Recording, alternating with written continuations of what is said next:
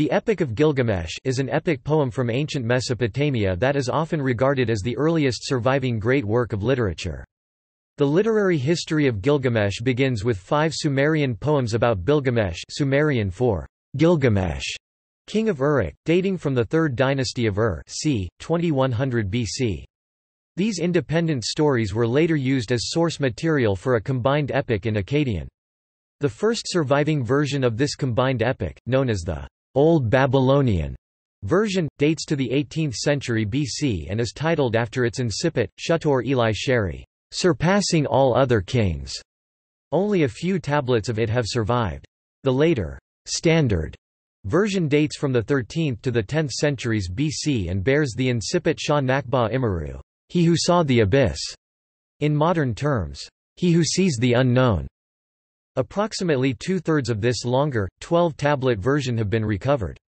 Some of the best copies were discovered in the library ruins of the 7th century BC Assyrian king Ashurbanipal. The first half of the story discusses Gilgamesh, king of Uruk, and Enkidu, a wild man created by the gods to stop Gilgamesh from oppressing the people of Uruk. After Enkidu becomes civilized through sexual initiation with a prostitute, he travels to Uruk, where he challenges Gilgamesh to a test of strength. Gilgamesh wins the contest, nonetheless, the two become friends. Together, they make a six-day journey to the legendary cedar forest, where they plan to slay the guardian, Humbaba the Terrible, and cut down the sacred cedar. The goddess Ishtar sends the bull of heaven to punish Gilgamesh for spurning her advances. Gilgamesh and Enkidu kill the bull of heaven after which the gods decide to sentence Enkidu to death and kill him.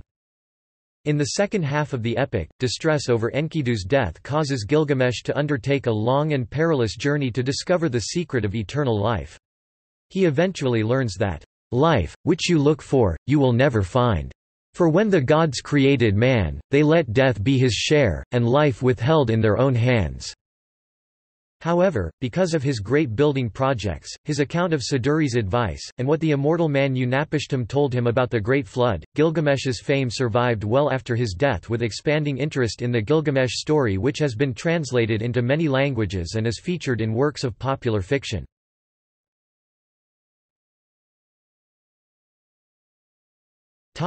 History Distinct sources exist from over a 2,000-year timeframe. The earliest Sumerian poems are now generally considered to be distinct stories, rather than parts of a single epic. They date from as early as the 3rd dynasty of Ur c. 2100 BC. The Old Babylonian tablets c. 1800 BC, are the earliest surviving tablets for a single epic of Gilgamesh narrative. The older Old Babylonian tablets and later Akkadian version are important sources for modern translations, with the earlier texts mainly used to fill in gaps lacunae in the later texts. Although several revised versions based on new discoveries have been published, the epic remains incomplete. Analysis of the Old Babylonian text has been used to reconstruct possible earlier forms of the Epic of Gilgamesh. The most recent Akkadian version c. 1200 BC, also referred to as the Standard Version, consisting of 12 tablets, was edited by Sin-leqi-unninni and was found in the library of Ashurbanipal in Nineveh. The Epic of Gilgamesh was discovered by Austin Henry Layard, Hormuzd Rassam, and W. K. Loftus in 1853. The central character of Gilgamesh was initially reintroduced to the world as Izdubar, before the cuneiform logographs in his name could be pronounced accurately. The first modern translation was published in the early 1870s by George Smith. Smith then made further discoveries of texts on his later expeditions, which culminated in his final translation which is given in his book The Chaldean Account of Genesis 1880. The most definitive modern translation is a two-volume critical work by Andrew George, published by Oxford University Press in 2003. A book review by the Cambridge scholar, Eleanor Robson, claims that George's is the most significant critical work on Gilgamesh in the last 70 years. George discusses the state of the surviving material, and provides a tablet-by-tablet -tablet exegesis, with a dual-language side-by-side translation. In 2004, Stephen Mitchell supplied a controversial version that takes many liberties with the text and includes modernized allusions and commentary relating to the Iraq War of 2003. The first direct Arabic translation from the original tablets was made in the 1960s by the Iraqi archaeologist Taha Baqir. The discovery of artifacts c. 2600 BC associated with Enmebaragesi of Kish, mentioned in the legends as the father of one of Gilgamesh's adversaries, has lent credibility to the historical existence of Gilgamesh.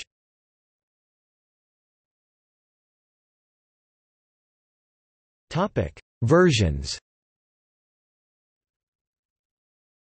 From the diverse sources found, two main versions of the epic have been partially reconstructed, the Standard Akkadian version, or He Who Saw the Deep, and the Old Babylonian version, or Surpassing All Other Kings. Five earlier Sumerian poems about Gilgamesh have been partially recovered, some with primitive versions of specific episodes in the Akkadian version, others with unrelated stories.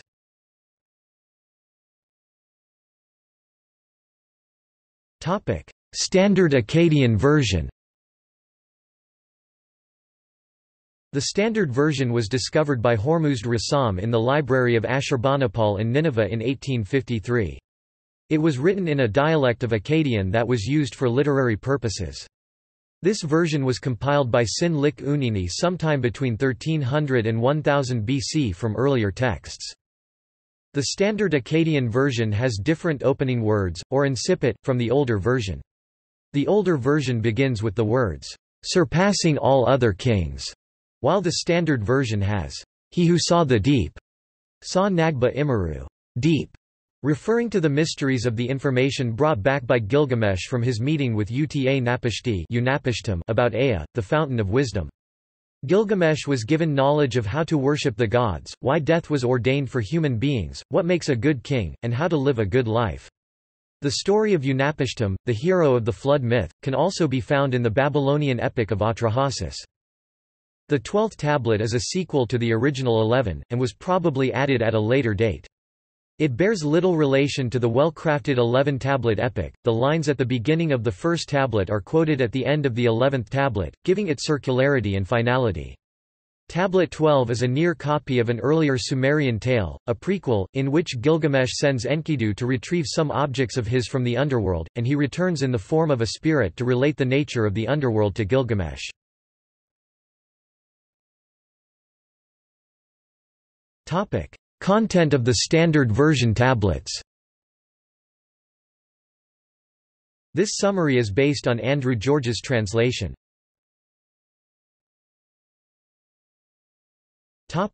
Tablet 1 The story introduces Gilgamesh, king of Uruk.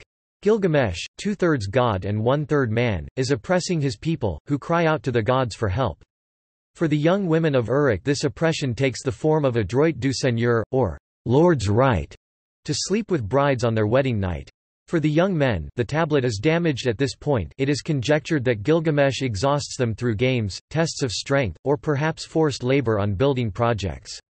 The gods respond to the people's pleas by creating an equal to Gilgamesh who will be able to stop his oppression. This is the primitive man, Enkidu, who is covered in hair and lives in the wild with the animals. He is spotted by a trapper, whose livelihood is being ruined because Enkidu is uprooting his traps.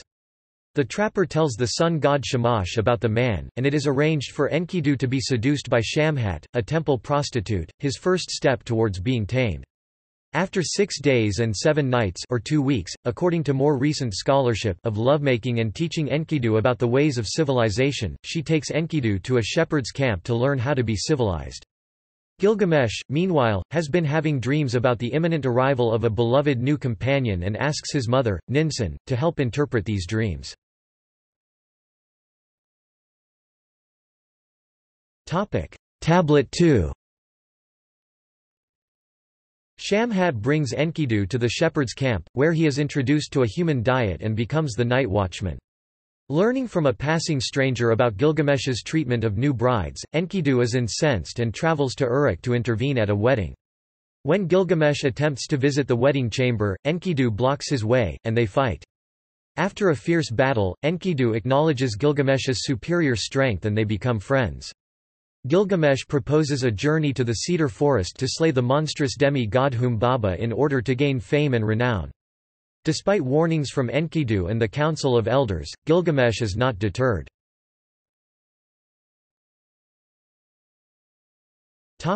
Tablet 3 The elders give Gilgamesh advice for his journey. Gilgamesh visits his mother, the goddess Ninsun, who seeks the support and protection of the sun god Shamash for their adventure. Ninsun adopts Enkidu as her son, and Gilgamesh leaves instructions for the governance of Uruk in his absence.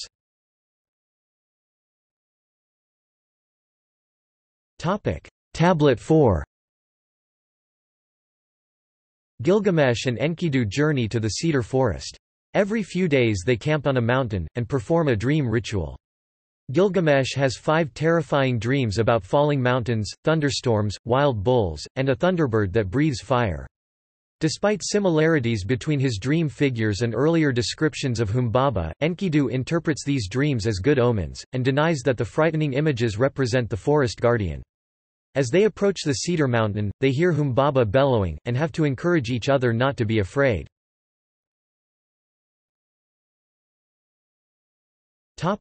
Tablet 5 The heroes enter the cedar forest. Humbaba, the guardian of the cedar forest, insults and threatens them. He accuses Enkidu of betrayal, and vows to disembowel Gilgamesh and feed his flesh to the birds. Gilgamesh is afraid, but with some encouraging words from Enkidu the battle commences. The mountains quake with the tumult and the sky turns black. The god Shamash sends thirteen winds to bind Humbaba, and he is captured. Humbaba pleads for his life, and Gilgamesh pities him. He offers to make Gilgamesh king of the forest, to cut the trees for him, and to be his slave. Enkidu, however, argues that Gilgamesh should kill Humbaba to establish his reputation forever. Humbaba curses them both and Gilgamesh dispatches him with a blow to the neck, as well as killing his seven sons. The two heroes cut down many cedars, including a gigantic tree that Enkidu plans to fashion into a gate for the temple of Enlil. They build a raft and return home along the Euphrates with the giant tree and possibly the head of Humbaba. Topic: Tablet 6. Gilgamesh rejects the advances of the goddess Ishtar because of her mistreatment of previous lovers like Dumuzi. Ishtar asks her father Anu to send Gugalanna, the bull of heaven, to avenge her. When Anu rejects her complaints, Ishtar threatens to raise the dead who will outnumber the living and devour them. Anu becomes frightened, and gives in to her. Ishtar leads Gugalanna to Uruk, and it causes widespread devastation. It lowers the level of the Euphrates River, and dries up the marshes. It opens up huge pits that swallow 300 men. Without any divine assistance, Enkidu and Gilgamesh attack and slay it, and offer up its heart to Shamash. When Ishtar cries out, Enkidu hurls one of the hindquarters of the bull at her. The city of Uruk celebrates, but Enkidu has an ominous dream about his future failure.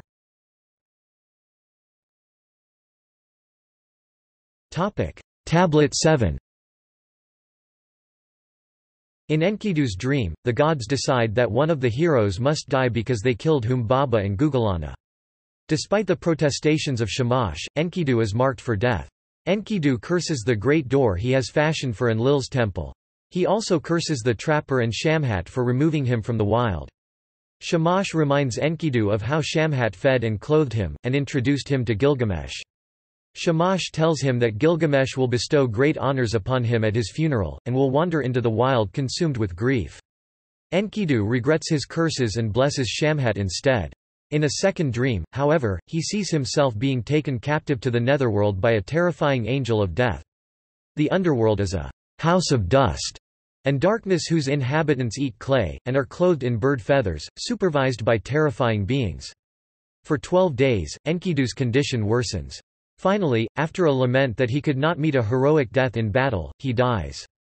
In a famous line from the epic, Gilgamesh clings to Enkidu's body and denies that he has died until a maggot drops from the corpse's nose. Tablet 8 Gilgamesh delivers a lament for Enkidu, in which he calls upon mountains, forests, fields, rivers, wild animals, and all of Uruk to mourn for his friend. Recalling their adventures together, Gilgamesh tears at his hair and clothes in grief. He commissions a funerary statue, and provides grave gifts from his treasury to ensure that Enkidu has a favorable reception in the realm of the dead. A great banquet is held where the treasures are offered to the gods of the netherworld. Just before a break in the text there is a suggestion that a river is being dammed, indicating a burial in a river bed, as in the corresponding Sumerian poem, The Death of Gilgamesh.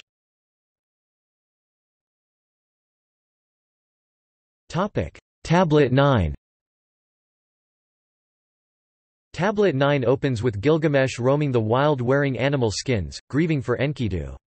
Having now become fearful of his own death, he decides to seek Utnapishtim, the faraway, and learn the secret of eternal life. Among the few survivors of the Great Flood, Utnapishtim and his wife are the only humans to have been granted immortality by the gods. Gilgamesh crosses a mountain pass at night and encounters a pride of lions. Before sleeping he prays for protection to the moon god Sin. Then, waking from an encouraging dream, he kills the lions and uses their skins for clothing. After a long and perilous journey, Gilgamesh arrives at the twin peaks of Mount Mashu at the end of the earth. He comes across a tunnel, which no man has ever entered, guarded by two scorpion monsters, who appear to be a married couple.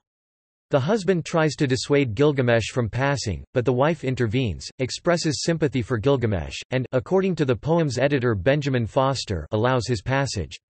He passes under the mountains along the road of the sun. In complete darkness he follows the road for twelve double hours, managing to complete the trip before the sun catches up with him. He arrives at the Garden of the Gods, a paradise full of jewel-laden trees. Tablet 10. Gilgamesh meets alewife Siduri, who assumes that he is a murderer or thief because of his disheveled appearance. Gilgamesh tells her about the purpose of his journey. She attempts to dissuade him from his quest, but sends him to Urshanabi the ferryman, who will help him cross the sea to Utnapishtim. Gilgamesh, out of spontaneous rage, destroys the stone charms that Urshanabi keeps with him. He tells him his story, but when he asks for his help, Urshanabi informs him that he has just destroyed the objects that can help them cross the waters of death, which are deadly to the touch. Urshanabi instructs Gilgamesh to cut down 120 trees and fashion them into punting poles. When they reach the island where Utnapishtim lives, Gilgamesh recounts his story, asking him for his help. Utnapishtim reprimands him, declaring that fighting the common fate of humans is futile and diminishes life's joys.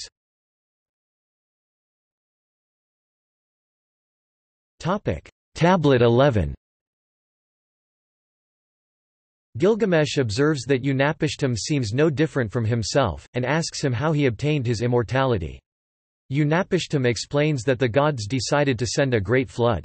To save Utnapishtim the god Ea told him to build a boat. He gave him precise dimensions, and it was sealed with pitch and bitumen. His entire family went aboard together with his craftsmen and all the animals of the field. A violent storm then arose which caused the terrified gods to retreat to the heavens. Ishtar lamented the wholesale destruction of humanity, and the other gods wept beside her. The storm lasted six days and nights, after which, all the human beings turned to clay. Utnapishtim weeps when he sees the destruction. His boat lodges on a mountain, and he releases a dove, a swallow, and a raven. When the raven fails to return, he opens the ark and frees its inhabitants. Utnapishtim offers a sacrifice to the gods, who smell the sweet savor and gather around. Ishtar vows that just as she will never forget the brilliant necklace that hangs around her neck, she will always remember this time. When Enlil arrives, angry that there are survivors, she condemns him for instigating the flood. Ea also castigates him for sending a disproportionate punishment. Enlil blesses Utnapishtim and his wife, and rewards them with eternal life.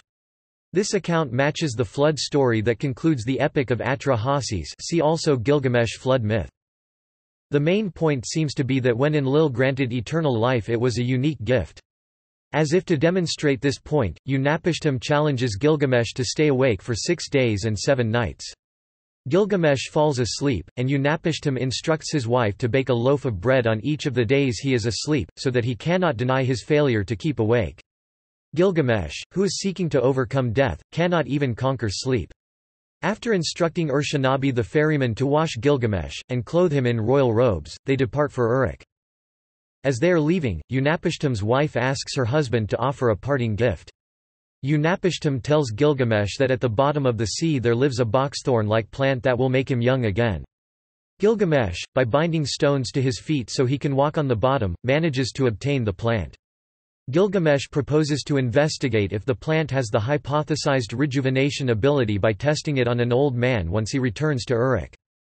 There is a plant that looks like a box thorn, it has prickles like a dogrose, and will prick one who plucks it. But if you can possess this plant, you'll be again as you were in your youth. This plant, Ur-Shanabi, is the plant of heartbeat. With it a man can regain his vigor. To Uruk the sheepfold I will take it, to an ancient I will feed some and put the plant to the test. Unfortunately, when Gilgamesh stops to bathe, it is stolen by a serpent, who sheds its skin as it departs. Gilgamesh weeps at the futility of his efforts, because he has now lost all chance of immortality. He returns to Uruk, where the sight of its massive walls prompts him to praise this enduring work to Ur-Shanabi.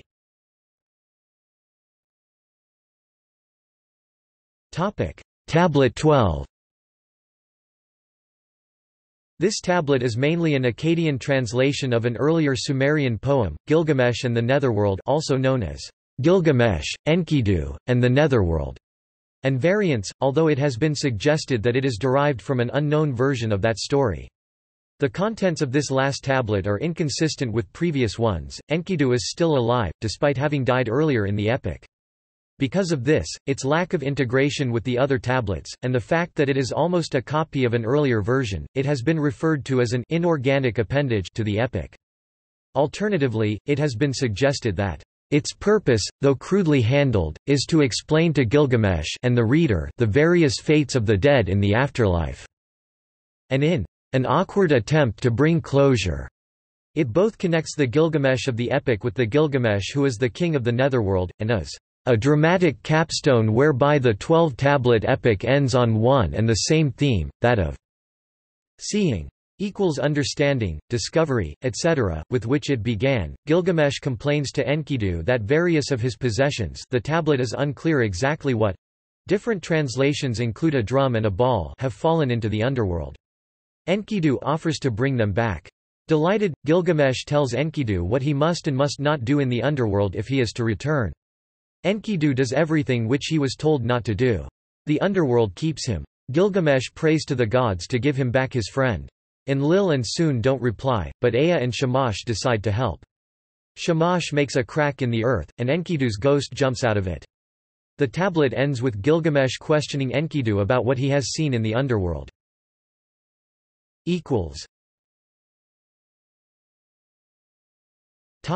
Old Babylonian versions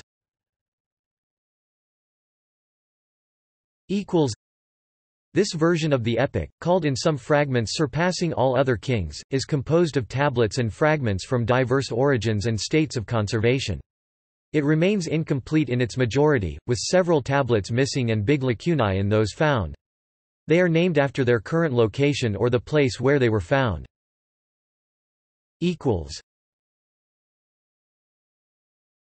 Topic: Pennsylvania tablet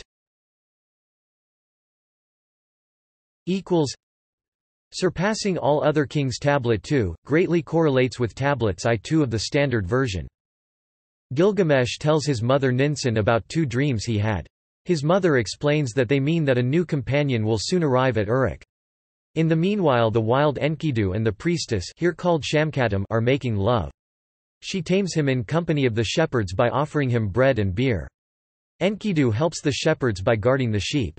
They travel to Uruk to confront Gilgamesh and stop his abuses. Enkidu and Gilgamesh battle but Gilgamesh breaks off the fight. Enkidu praises Gilgamesh.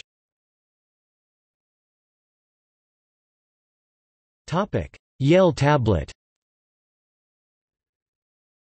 Surpassing all other kings Tablet 3, partially matches tablets E3 of the standard version. For reasons unknown the tablet is partially broken Enkidu is in a sad mood. In order to cheer him up Gilgamesh suggests going to the pine forest to cut down trees and kill Humbaba known here as Huwawa. Enkidu protests, as he knows Huwawa and is aware of his power. Gilgamesh talks Enkidu into it with some words of encouragement, but Enkidu remains reluctant. They prepare, and call for the elders. The elders also protest, but after Gilgamesh talks to them, they agree to let him go. After Gilgamesh asks his god Shamash for protection, and both he and Enkidu equip themselves, they leave with the elders' blessing and counsel.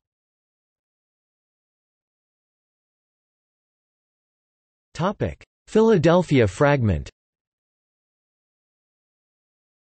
Possibly another version of the contents of the Yale tablet, practically irrecoverable.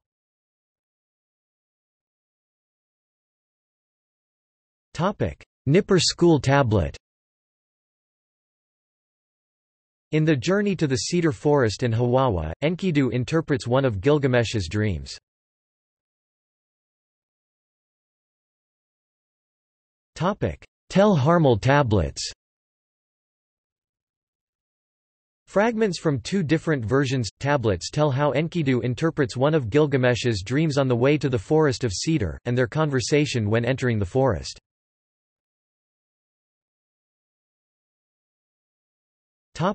Ishchali tablet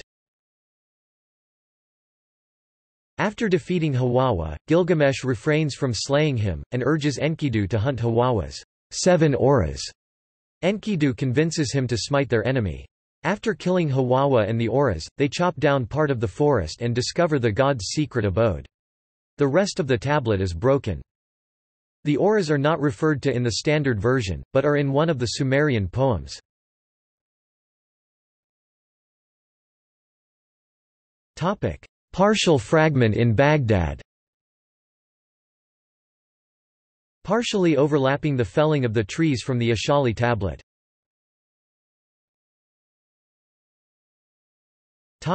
Sippar tablet. Partially overlapping the standard version tablets XX. Gilgamesh mourns the death of Enkidu wandering in his quest for immortality. Gilgamesh argues with Shamash about the futility of his quest. After a lacuna, Gilgamesh talks to Siduri about his quest and his journey to meet Utnapishtim here called Uta Naishtim. Siduri attempts to dissuade Gilgamesh in his quest for immortality, urging him to be content with the simple pleasures of life.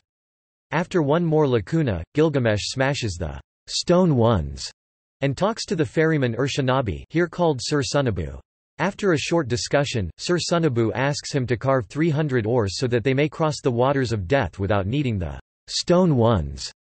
The rest of the tablet is missing. The text on the Old Babylonian Meissner fragment the larger surviving fragment of the Sippar tablet has been used to reconstruct possible earlier forms of the Epic of Gilgamesh, and it has been suggested that a prior form of the story, earlier even than that preserved on the Old Babylonian fragment, may well have ended with Siduri sending Gilgamesh back to Uruk. And Utnapishtim was not originally part of the tale.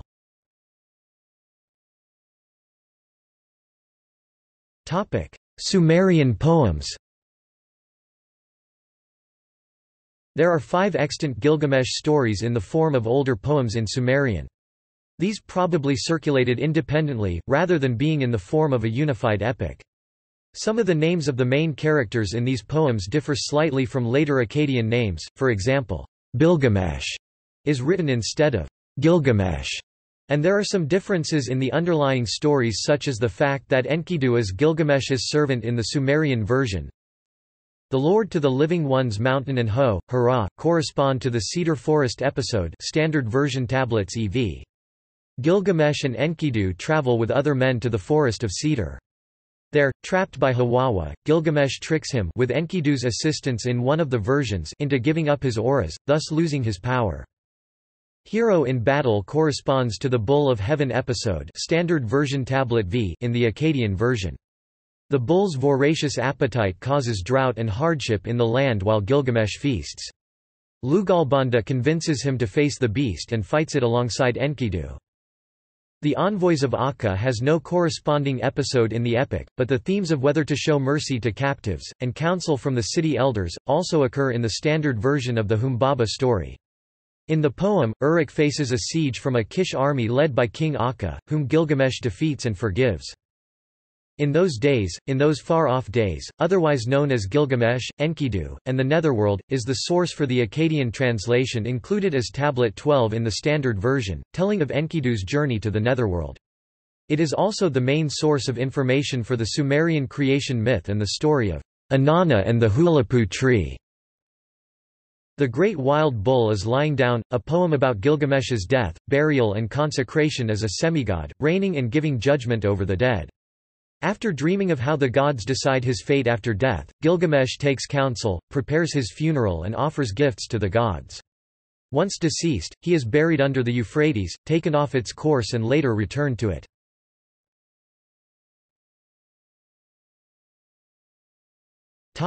Later influence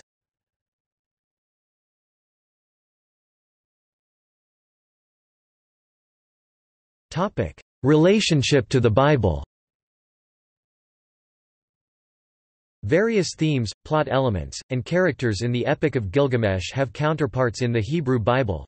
Notably, the accounts of the Garden of Eden, the advice from Ecclesiastes, and the Genesis flood narrative.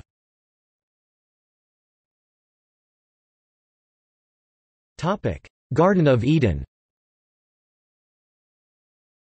The parallels between the stories of Enkidu, Shamhat and Adam, Eve have been long recognized by scholars.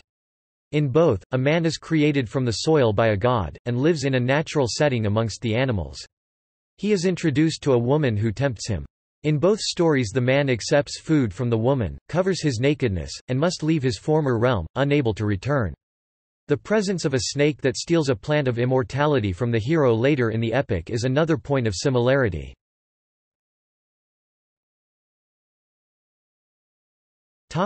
Advice from Ecclesiastes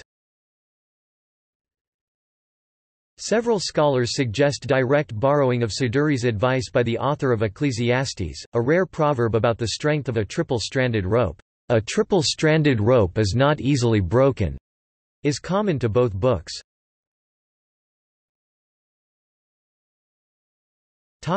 Noah's flood Andrew George submits that the Genesis flood narrative matches that in Gilgamesh so closely that few doubt that it derives from a Mesopotamian account. What is particularly noticeable is the way the Genesis flood story follows the Gilgamesh flood tale, point by point and in the same order, even when the story permits other alternatives.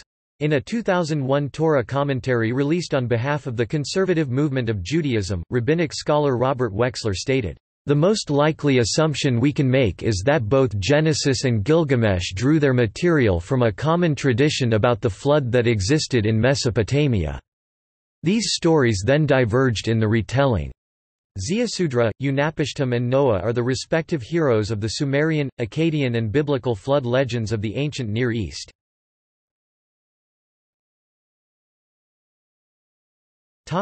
Additional biblical parallels Matthias Henze suggests that Nebuchadnezzar's madness in the biblical Book of Daniel draws on the Epic of Gilgamesh.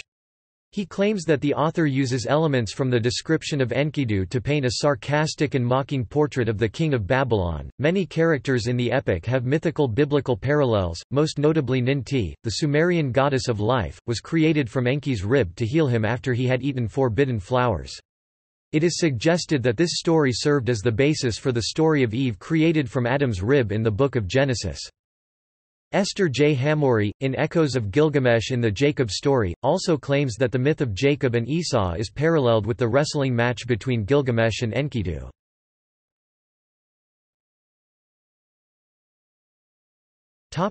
Influence on Homer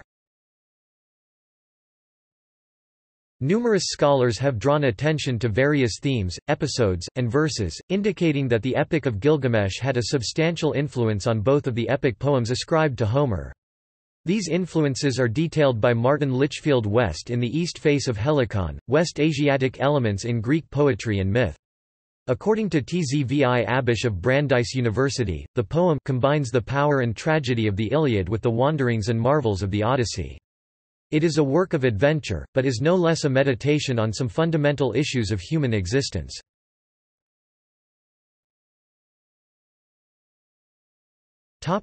In popular culture The Epic of Gilgamesh has inspired many works of literature, art, and music, as Theodore Ziolkowski points out in his book Gilgamesh Among Us, Modern Encounters with the Ancient Epic 2011. It was only after World War I that the Gilgamesh epic reached a modern audience, and only after World War II that it was featured in a variety of genres. See also